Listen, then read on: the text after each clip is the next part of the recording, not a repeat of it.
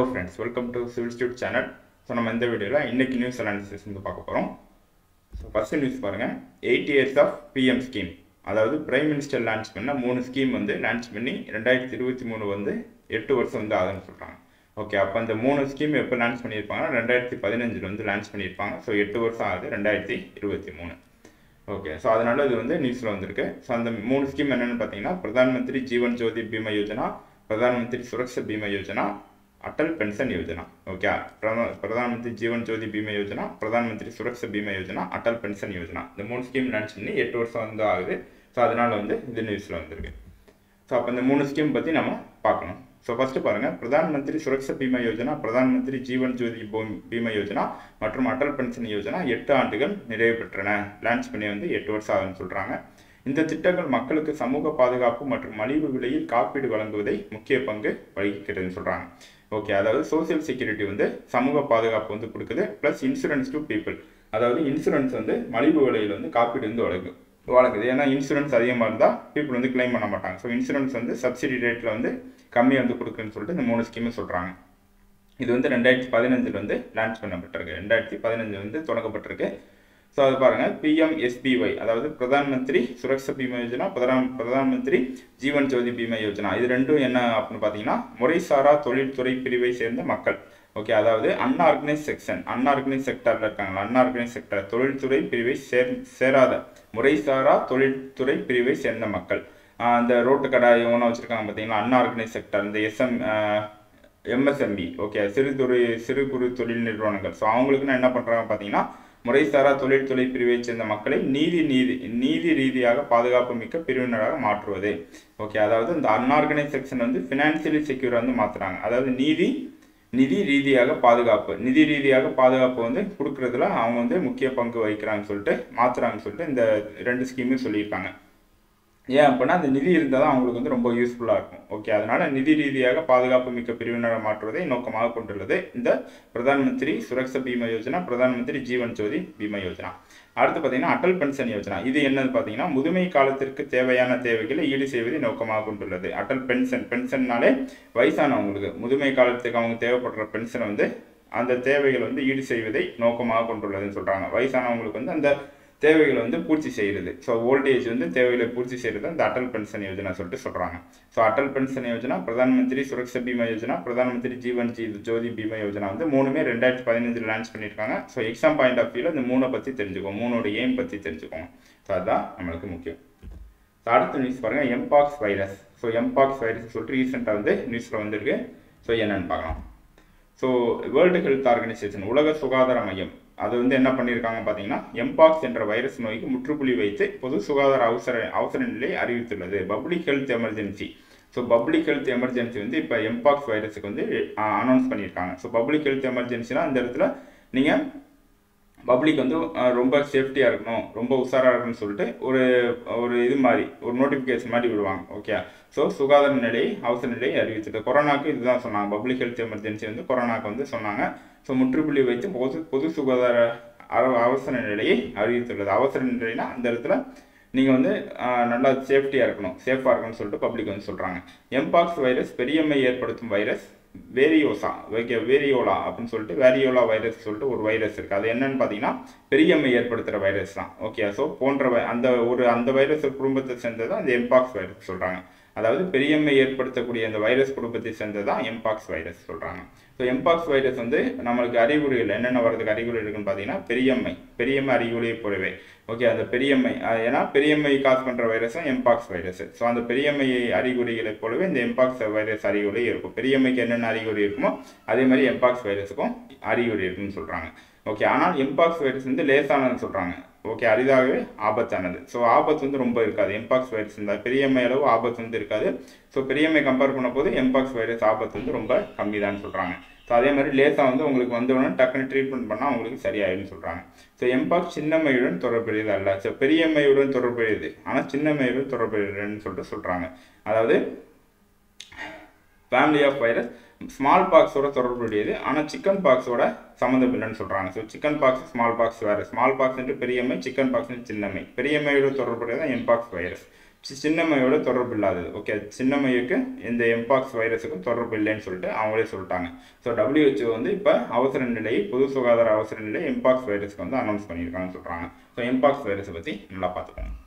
அடுத்து பார்த்தீங்கன்னா தொற்றாத நோய்களுக்கான தேசிய திட்டம். அந்த national programme for non communicable disease வந்து இப்போ ரீசெண்டாக வந்து நேம் நேம் வந்து பேர் வந்து மாற்றிருக்காங்க ஸோ முன்னாடி எப்படி இருந்துச்சு பார்த்தீங்கன்னா national programme for prevention control of cancer diabetes cardiovascular disease and ஸ்ட்ரோக்னு சொல்லிட்டு இருந்துச்சு. ஸோ இப்போ வந்து பேர் வந்து மாற்றிருக்காங்க ஸோ அதனால் இது வந்து ரொம்ப முக்கியமான நியூஸு ஸோ பார்த்தீங்கன்னா சென்ற மத்திய அரசு அதன் நோக்கத்தை விரிவுபடுத்துவதற்காக தொற்றாத நோய்களை கட்டுப்படுத்துவதற்கும் தடுப்பதற்கும் அதன் திட்டத்தை மறுபெயர் மறுபெயரெடுத்துள்ளது மறுபெயரிட்டுள்ளதுன்னு சொல்கிறாங்க ஓகே நான் கம்யூனிகபிள் டிசீஸ் வந்து கட்டுப்படுத்துறதுக்கு அந்த ப்ரோ ஒரு ப்ரோக்ராம் வந்து இருக்கும். ஸோ அந்த ப்ரோக்ராமை இப்போ ரீநேம் பண்ணியிருக்காங்கன்னு சொல்கிறாங்க ஓகே ஸோ அப்போ பார்த்தீங்கன்னா பழைய ப்ரோக்ராம் என்ன இருந்துச்சு பார்த்தீங்கன்னா national programme for prevention control of cancer diabetes cardiovascular disease and stroke so இதுதான் பழைய ப்ரோக்ராம் பேர். It's existing programme for non communicable disease in India தொற்றாத நோய்களுக்கு தொற்றாத நோய்களுக்கான திட்டத்தில் இந்த ப்ரோக்ராம்னா இப்போ இருக்கிற திட்டம் வந்து பேர் என்னென்னு பார்த்தீங்கன்னா அது என்பிசிடிசிஎஸ்ன்னு சொல்கிறோம் புற்றுநோய் நீரிழிவு இருதய நோய்கள் மற்றும் பக்கவாதம் தடுப்பு மற்றும் கட்டுப்பாடுகளுக்கான தேசிய திட்டம். இப்போ இருக்கிற பேர்.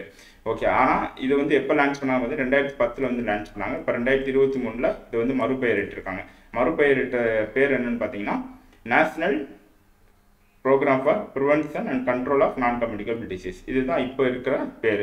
ஓகே அந்த என்பிசிடிஎஸ் இந்த பேரை வந்து இந்த பேராக மாற்றிருக்காங்க என்பி என்சிடியாக மாற்றிருக்காங்க எதுக்கு அப்படின்னா கவரேஜ் அண்ட் எக்ஸ்பேன்ஷன் வந்து ஒயிட் பண்ணுறதுக்கு ஓகே அதை ஃபஸ்ட்டே பார்த்தோம். அந்த விரிவாக்கம் பண்ணுறதுக்கு விரிவுபடுத்துறதுக்கு இது வந்து கொண்டு வந்திருக்காங்க. ஸோ மறுபெயரிட்ட இது வந்து பண்ணுறது பரவாத நோய்களை தடுக்கும் மற்றும் கட்டுப்படுத்தும் தேசிய திட்டம் அப்படின்னு சொல்கிறோம் பரவாத நோய்களை தடுக்கும் பரவாத நோய்களை தடுக்கும். தடுப்பதற்காக மற்றும் கட்டுப்படுத்துவதற்காக கட்டுப்படுத்துவதற்காக வந்த தேசிய திட்டம் தான் இந்த என்பிஎன்சிடி அப்போ நீங்கள் என்பி என்பிசிடிசிஎஸ் வந்து என்பிஎன்சிடியாக பேர் மாற்றிருக்காங்க ஓகே இது வந்து நல்லா தெரிஞ்சுக்கோங்க. என்பிஎன்சிடியாக வந்து பேர் மாற்றிருக்காங்க ஸோ நான் கம்யூனிகபிள் டிசீஸ் தொற்றாத நோய்களுக்கான தேசிய திட்டம். ஸோ இது வந்து பேர் மாற்றிருக்காங்க அடுத்து பார்த்தீங்கன்னா சென்னை துறைமுகத்துக்கு விருது. ஸோ கடந்த நிதியாண்டில் ஒட்டுமொத்த செயல்திறனுக்கான சிறப்பு சிறப்பு விருதை புதன் பு- புதுடெல்லி ஓ புதுடெல்லி நியூ டெல்லியில் வந்து கடந்த நிதியாண்டு ரெண்டாயிரத்தி இருபத்தி ரெண்டில் ஒட்டுமொத்த செயல்திறனுக்கான சிறப்பு விருது வந்து எந்த துறைமுகத்துக்கு கொடுத்துருக்காங்க சென்னை துறைமுகத்துக்கு வந்து கொடுத்துருக்காங்க. ஒட்டுமொத்த செயல்திறனுக்கான சிறப்பு விருதை சென்னை துறைமுகத்துக்கு வந்து கொடுத்துருக்காங்க ரெண்டாயிரத்தி இருபத்தி ரெண்டு வருஷப்படி. ஓகே அதனால அது நியூஸ்லாம் வந்திருக்கு.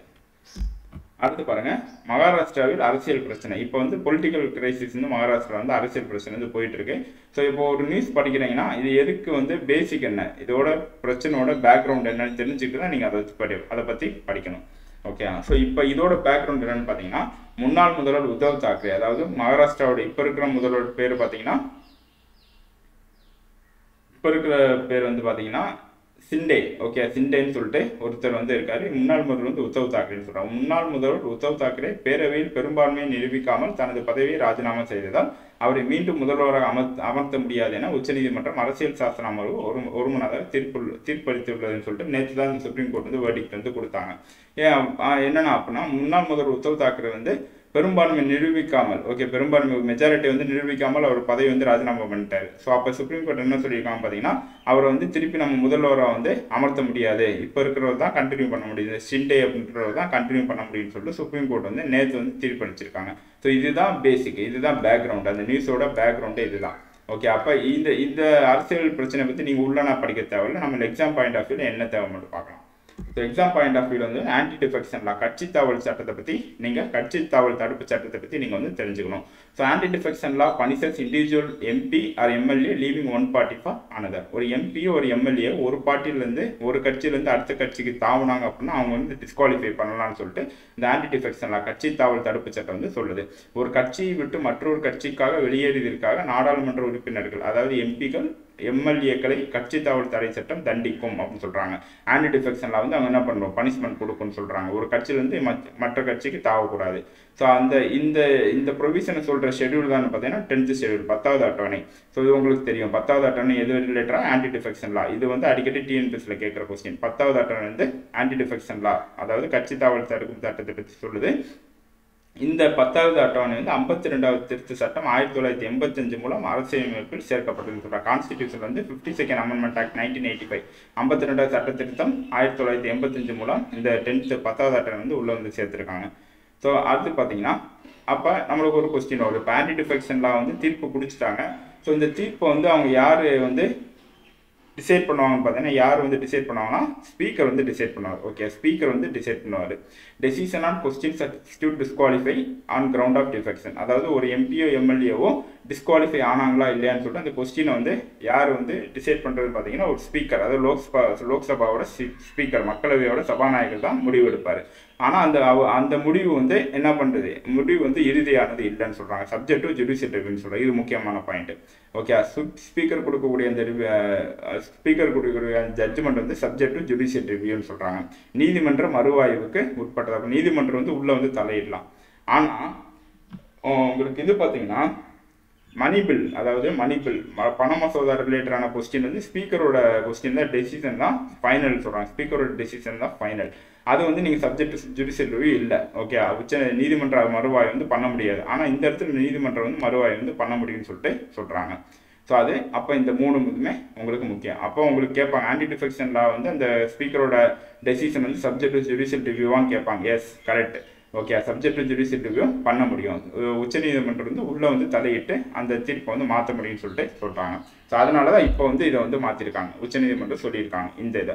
ஸோ இந்த மாதிரி தான் நீங்கள் படிக்கணும். ஒரு நியூஸோட பேக்ரவுண்டு ஸோ அதை என்ன சொல்லுது அந்த ஆன்டிஃபெக்ஷன் என்ன சொல்லுது அதைப்படி தான் இது வந்து வருது. இந்த நியூஸ் வந்து வருதுன்னு சொல்லிட்டு சொல்கிறாங்க ஓகே ஃப்ரெண்ட்ஸ் அவ்வளோதான் இன்றைக்கி வந்து இம்பார்ட்டன்ட் கரண்ட் அஃபேர்ஸ் ஸோ இதே மாதிரி நாளைக்கு நியூஸ் சேனல்ஸ் வந்து பார்க்கலாம். இந்த வீடியோ பிடிச்சா லைக் பண்ணுங்கள் ஷேர் பண்ணுங்கள் சிவில் ஸ்ட்ரிப் சேனலை சப்ஸ்கிரைப் பண்ணுங்கள் தேங்க்யூ ஃப்ரெண்ட்ஸ்